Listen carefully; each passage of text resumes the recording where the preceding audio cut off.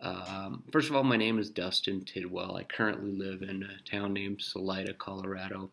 Um, I grew up in Wyoming in the United States, uh, initially in a real small, almost ghost town, and then uh, through my schooling years until through high school, I grew up in Cheyenne, Wyoming, and um, had a bunch of military scholarships, uh, but decided to go into uh, into the University of Wyoming, where I studied finance and marketing.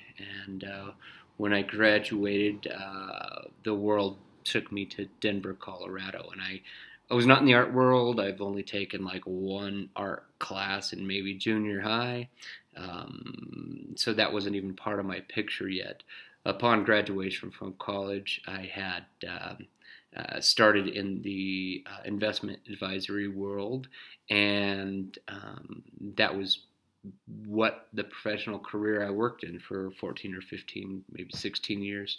Um, my background in Wyoming, uh, my my my father's family um, was partially Native American and very sort of like, uh, you know, uh, plainsmen, horsemen. Um, my my stepfather's family, when my mom and dad got divorced, my stepfather's family came from a, a ranching and rodeo background, so I have a quite a, a Western culture, I guess. Um, so it says uh, also did my upbringing prompt a specific reference point within my work? I suppose so. I don't paint westerns. I don't paint scenery. I don't paint things like that. But I, I do use a lot of uh, Native American medicine wheel uh, imagery in, in my paintings and, and some Native American just imagery in general. I think that is an ancestral tie. Um, you, asked the question Is your work informed by certain concepts or themes from your childhood background, socioeconomic status, and where you lived and were raised? I, I guess it, there's, there's a substantial spiritual bent to my work. Um, I, do believe in, in a creator, and I'm not going to go into my spirituality in this, but uh, a lot of my work is, is tied to kind of a, I guess, a spiritual background. I don't know. Um, you know, I, I, guess you would definitionally say that we grew up poor, or I grew up poor, but we didn't really know it. Um, I don't know if it was even poor. We had food, shelter, friends, cars, so we are we are fine. Um, but from a dollar bill counting standpoint, I guess you'd say poor. Um, but that's I don't know if that really influences um, my my my art. Losing my business when I when I became very sick. Uh, to tell you kind of what happened or how the art started is uh, in about 2000 and. Um, 14, I picked up a paintbrush. My kids had received an easel for Christmas, and I was really having a hard time. Some pretty challenging things was going on in my life.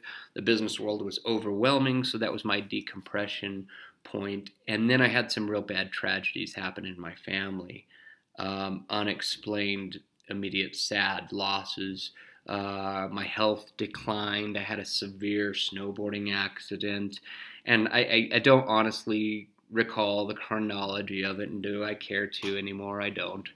Um, it happened, and uh, in in in the fa- in the matter of that or the process of that, I had to get out of the city. My wife and I moved to Colorado, or a place named Salida, Colorado.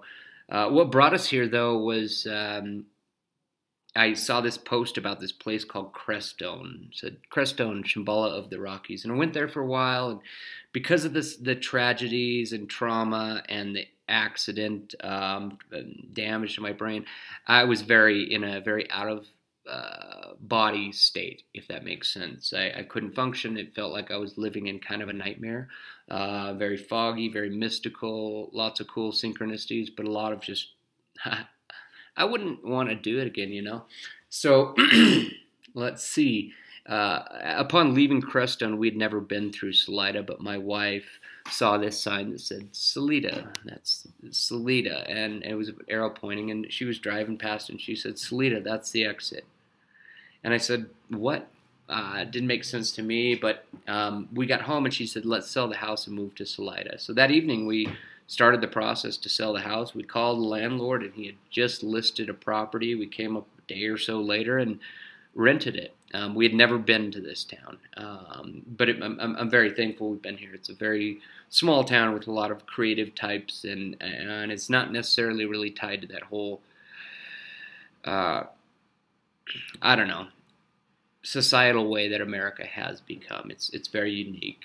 Uh, a lot of eccentric people around. So, um, and, also, I think one of the major things that happened to me along the way, two of them, was uh, I was uh, uh, uh the business I had built for 15 years quickly vanished. Uh, specifically, was kind of sabotaged. Um, um, my explanation, some of my art pieces may go into that in the future, but yeah, um, some people that I called brothers and friends pulled some legalese in, in my time of ailment and and basically took my my income from me. So yeah, that uh, I had to deal with. Uh, um, I had to learn acceptance, but that took a long time, and it took a lot of work through the paintings to to find acceptance. Some people taught me about sacred geometry and uh, the energy or emotions that colors can convey or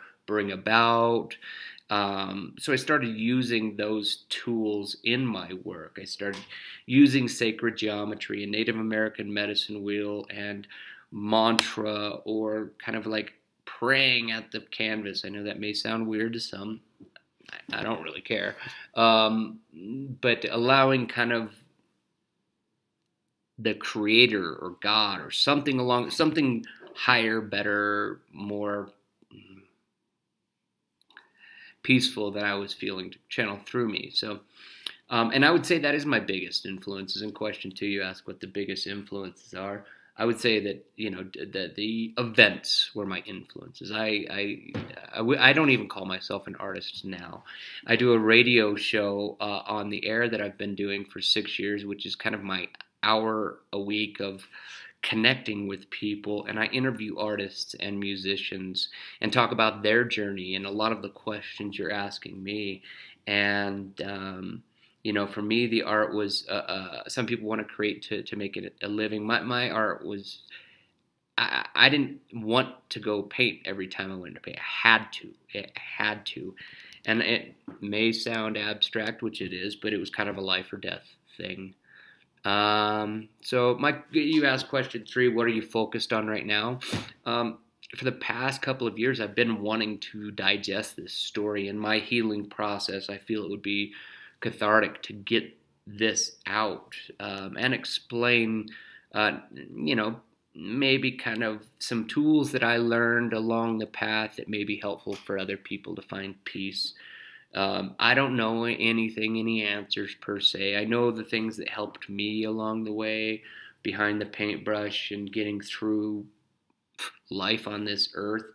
Uh, and, and, and addressing the impacts and the traumas and the you know sickness um, so I guess uh, focusing on getting that story. Uh, because of the injuries, I, I, am not able to do a lot of the things I was so capable of doing, and my kids can even do. But when it comes to technology, trying to, how to figure out how to make this recording took me a couple hours. But um, anyhow, that's what I'm focused on. Maybe getting out that story. I, I don't have, you know, I, I want to get the story out to inspire other people and kind of to close this chapter up for me, so I can come to resolution on on on some things that I've been painting and pondering on for a long time. So, what is the biggest challenge of being an artist? You know, I I don't know. In my situation, it's tr- keeping balanced, keeping motivated. Um, since my intention, I guess, is different. Everyone has different intentions, right? But my intention isn't so much to hey sell this many paintings and you know reach this many people and get this many likes. Uh, it's more to kind of get it off my chest. And I saw a picture of myself from exactly 11 years ago, and I would like to have that joy in my heart and in my eyes that I had back then. And I feel it's this process has been coming close. Um, you asked what advice would I give to my younger self? Um, don't walk with any fear. Um, the scary things that are out there are 99.9% not even real. And um, keep faith in yourself and and and that there's something bigger out there watching out and keep breathing, man. I find that I'm a shallower breather sometimes when things get a little stressful. So breathe. And then I guess finally, trust your gut. Trust your instinct. When when you meet somebody and it's like this is a somebody you should know more, or the gut's like ah maybe veer the other way. Trust it. It has never treated me wrong. So when I didn't trust my gut or listen to it, I it, it, there was valuable and painful lessons at times. So you said, have you ever tried any unconventional mediums or techniques? Um, I, I would think that maybe some unconventional. You know, I've done some paintings where I just melted Crayola crayons all over a paint paint a canvas to create some texture, and then I kind of painted on it and then melted it. Sometimes I've lit canvases, uh, poured like uh, some lighter fluid on them to light them on fire to melt some of the canvas. I had some paintings that um, I was processed, I was done processing. I didn't like the image, I didn't want to see the image, but it represented that emotion. And I would, at sunrise, I would take them to this fire area, this fire pit up on the mountain, and I'd burn them. And I would send them, you know, kind of my way of dismissing that energy, that emotion, allowing the healing to come through. I don't know. Um, I, I, use sacred geometry in a lot of my paintings. It's kind of a background. So I'll start a canvas and just draw sacred geometry, circular sacred geometry, um, you know, flower of life sort of stuff. And that kind of just kind of pulls me into a present state. Um, I use some techniques with how I paint that geometry, whether I'm going clockwise with the circles or clock counterclockwise. I meditate to find presence. So when I find that I'm concerned about the future, um, that's a fear. And uh, when I'm concerned about the past or I have some sort of sadness, that's kind of like I'm I'm, I'm angry at, at I'm having a resentment towards the past. Um, but I can't do that when I'm in the now. So doing that sacred geometry, if I'm concerned about something in the future, I tend to draw the circles clockwise and counterclockwise if I'm thinking about something historical. I don't know why it works. I, I don't. I, I know it works for me. Um, so that's cool. Um, do you listen to music or have any other type of background noise when you work, or do you do it in complete silence? More often, I've been sitting in silence or not really needing to have something uh, tickling my brain and uh, entertaining me. But I do often use uh, books on tape or listening to a podcast. I like to listen to harmonic tones. 432 hertz and 528 hertz are these sounds, that, and there's music made all around them. I really resonate well to them. Um, so I, I have created a YouTube video uh, channel that has like a handful of my paintings and stories behind my process. So it's interesting. This kind of goes in line with those.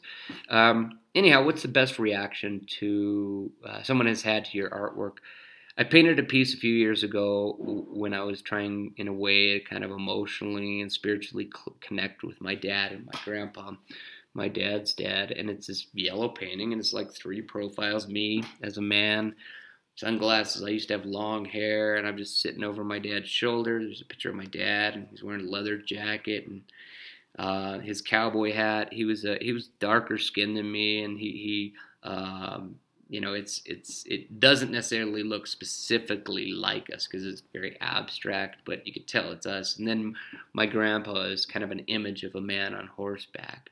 Well, when I painted that, I had displayed it in the in the street with a whole bunch of other paintings under a tent during some, you know, touristy festival around here. And a guy came walking up to me, young man, and he was emotional. You could tell. And he said, "Hey, did you who painted this? Did you paint this?" And I said, "Yeah." And he goes, "Wow, I saw it from two blocks away. I have to see this." And and and I I we're in town for a funeral. We're we buried our brother this morning, and uh, I I don't know why this image touches me so much, but it brings me peace. And I told him who the image was and what it was all about. And, you know, I don't remember his name. He, but we shared a handshake and a hug and a, a genuine fellowship with like some dudes who've been through some pain. And, and, um, uh, that, that was probably the most profound, best, re- I don't know, best, but like it, I felt it, my art made an impact. So, um, what do you hope people take away from my art? Um, what do I hope people take away from my art? inspiration. I want them to say, hey, if this dude could get over that shit and can create this stuff, then I can too. Uh, it's not so much people going, ooh, wow, look at what that guy did, look at what Dustin did, because honestly, it, it, more like came through me than came from me, if that makes sense. Um, but I would like other people. Um, so often, I think people fall upon the news and the fear and a bunch of pills to make their pains go away and and I do believe that the the healer is inside of us so uh, I'd like to inspire other people to channel that internal healer because it's dope it's awesome it's it works really well and um, I find sometimes I can't figure out after I'm happy for a couple of days in a row, and then I start to get agitated. It's like, what's going on? What do I got to do? And my fallback now is breathe, meditate, throw a prayer out there, and paint. And, and it works for me. So, hey, man, thanks for reaching out. I hope this recording works. All right, bye for now.